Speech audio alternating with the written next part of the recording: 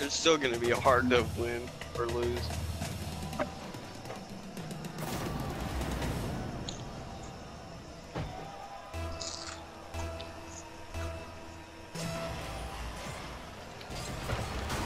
Oh my, are you fucking kidding me?